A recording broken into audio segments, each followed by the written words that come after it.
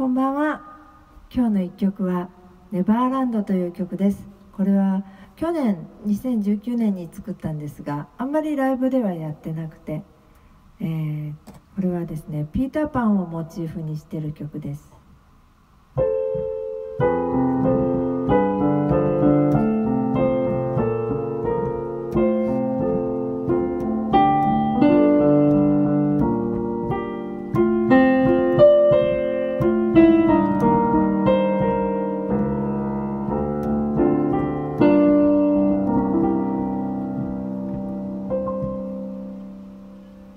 人はどうやって大人になるんだろう。僕はいつまでここにいられるの。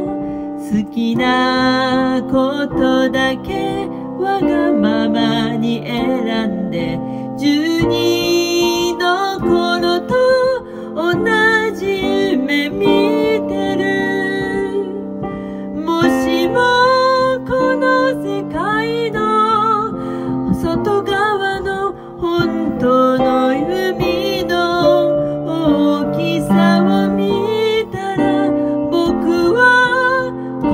小さな部屋から出られなくなってしまうかもしれない。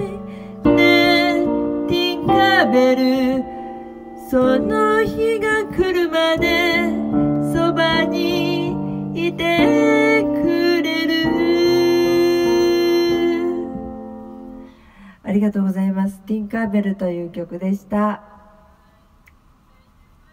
おやすみなさい。